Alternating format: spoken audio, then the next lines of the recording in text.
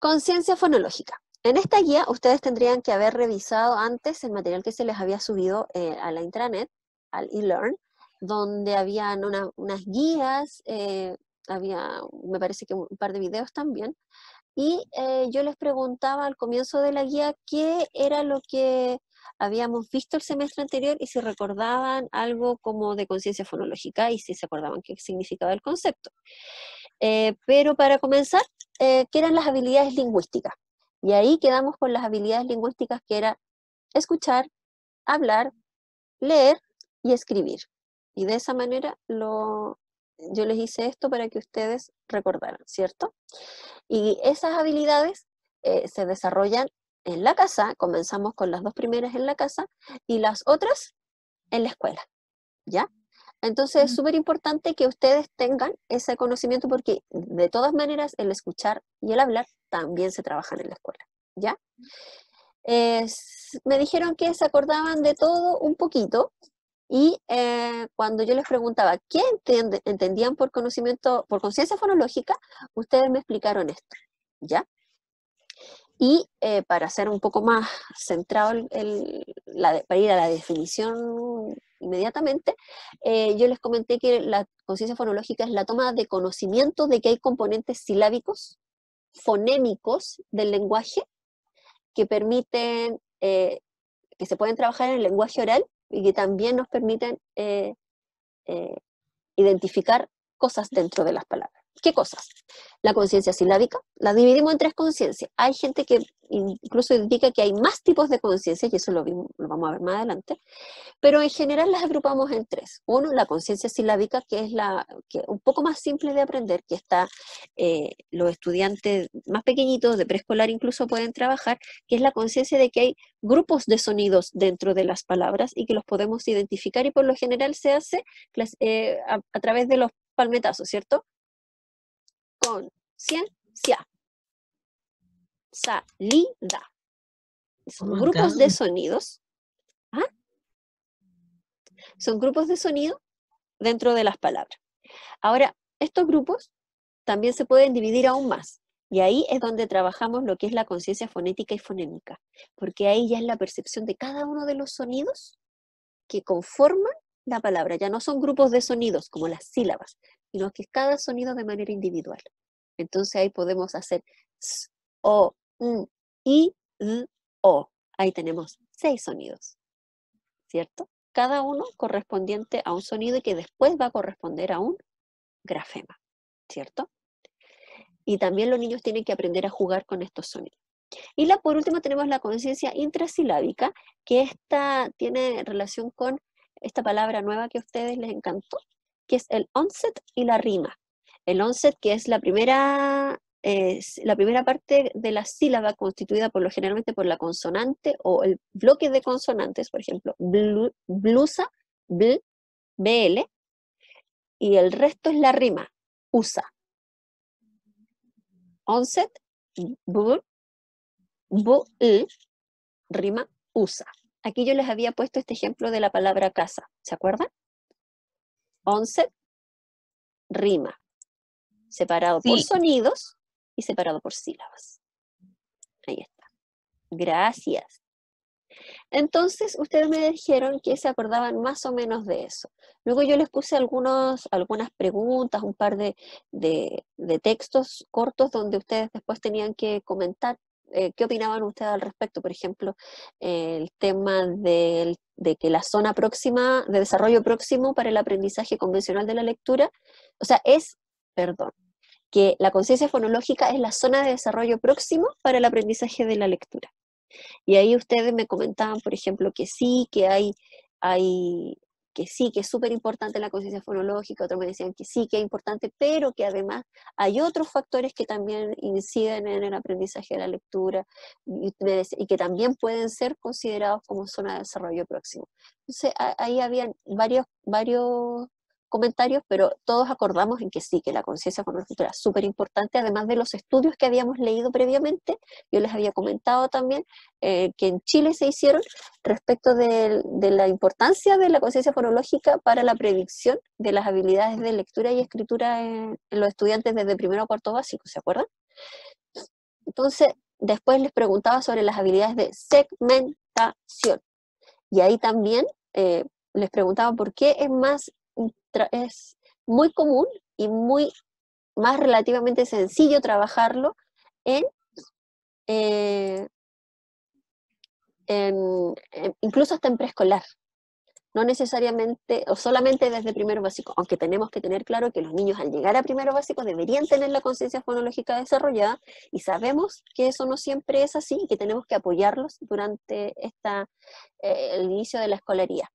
Entonces, eh, yo les puse acá algunos ejemplos para trabajar conciencia fonológica en la casa, que también se trabajan en el, en el, en el jardín, y también les puse acá otro texto donde comentábamos sobre la, la diferencia y la importancia de la conciencia fonológica para el aprendizaje de la lectura eh, como, como herramienta.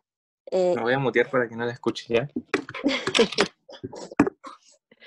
como herramienta para eh, los eh, niños y bueno, también conversamos un poco de eso y también quedamos en que sí, que efectivamente eh, el jugar con los sonidos, aislar un sonido, moverlo, eliminarlo, ese tipo de actividades también son súper importantes para desarrollar la conciencia fonológica. Entonces, yo les presenté acá este texto que es de este cuadrito que es del Leo primero, eh, que aparecen actividades de conciencia para desarrollar conciencia fonológica en general, tanto de conciencia de palabra, conciencia silábica como conciencia fonémica, ¿ya? Y tenemos la rima, que en conciencia de palabra mm, más difícil eh, o no aplica, eh, y en conciencia silábica, por ejemplo, ¿cuál de las siguientes palabras no rima? Y en conciencia fonémica, ¿qué rima con la palabra taza? Y fuimos trabajando cada uno de ellos con los ejemplos que nos presentaban acá y eh, conversábamos que es súper interesante cómo en este libro además se les dan a ustedes la, eh, ciertas herramientas para que puedan trabajarla. Porque en primero básico es súper importante reforzar lo que es conciencia fonológica. Por lo tanto, estas actividades, por ejemplo, de eliminar una palabra de un título, por ejemplo, una cena elegante, aquí eliminamos la palabra de al medio, una cena, cena, nos quedaría una elegante, ¿cierto? Ahora si eliminamos una sílaba, ¿se acuerdan que identificábamos la primera sílaba, la segunda sílaba, la tercera sílaba, y si sacábamos la de al medio, cómo nos quedaba la palabra? Y luego la conciencia fonémica, cuando separábamos por fonema y eliminamos uno. ¿Cómo nos queda la palabra? Esto de jugar con la eliminación, la sustitución, la inversión, la segmentación de las palabras, eh, de, la, de fonemas, eh, también eh, ese tipo de actividades se pueden trabajar no solamente así como súper formal, sino también habíamos dicho que se podían trabajar con tarjetas o cartas cartas, cartas fónicas que les, les dicen también, bueno, tienen varios nombres, y que tenían relación, ¿se acuerdan? Con mí. ¿Se acuerdan? Perdón. La Pati, que se está puro cayendo. perdón. Conciencia.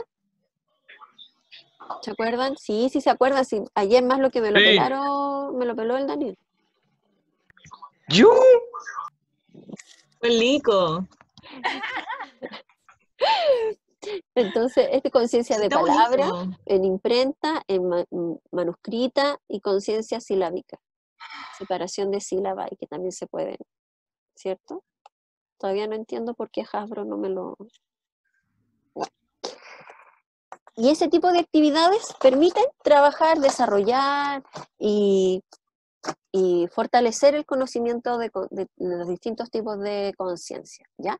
Y ustedes me decían que sí, que se habían visto, que sí habían trabajado ustedes con ese tipo de actividades cuando eran niños o habían visto como ayudantes, como profesores, como profesores en práctica, eh, habían visto ese tipo de actividades dentro de la sala. Eh, se tiende a pensar que son para niños de preescolar, pero sirven mucho, mucho para los niños de escolar también niños escolares de primero, incluso segundo básico, para los niños más grandes, también cuando tienen dificultades fonológicas, ¿ya? Y después revisamos este link para que quienes no lo han hecho ya lo vuelvan a hacer, o, o sea, si no lo han hecho, no lo han hecho, pero para los que lo hicieron o los que no lo han hecho, lo revisen eh, y puedan ver eh, que hay un texto que es una, una, canción que luego se divide en una rima y hay al menos 10 actividades para trabajar conciencia fonológica con solamente ese texto. ¿Ya? Y bueno, también para que revisaran las cartas eh, que yo les había subido para que, que, se supone que se iban a comprar la mayoría para la carrera. Y cómo entonces trabajamos los conceptos de decodificación y de codificación. ¿Cierto? ¿Se acuerdan?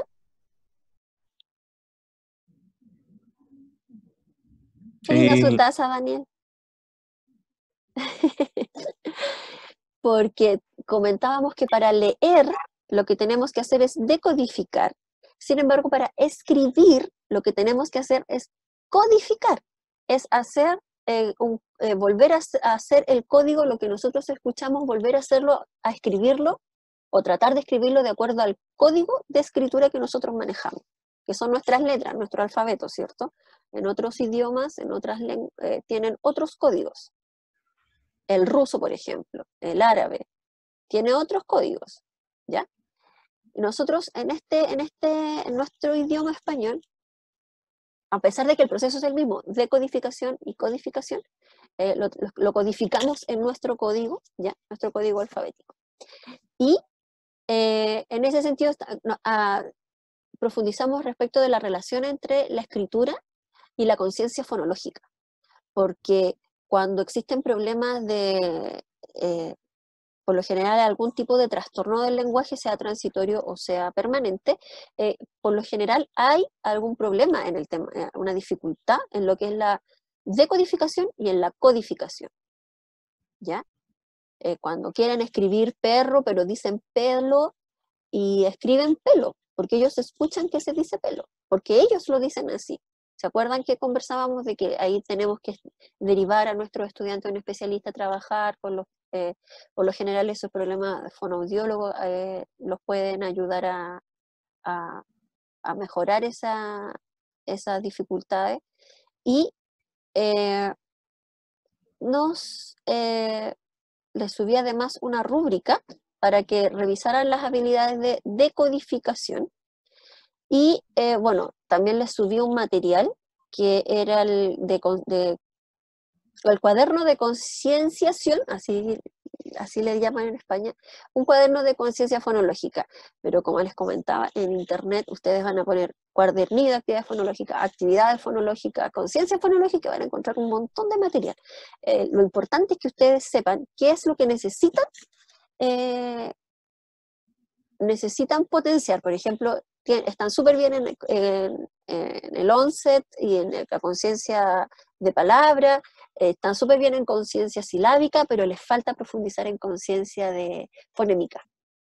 Entonces, buscar actividades de ese tipo, trabajar con los niños de ese tipo de actividades y no todos los tipos de conciencia fonológica.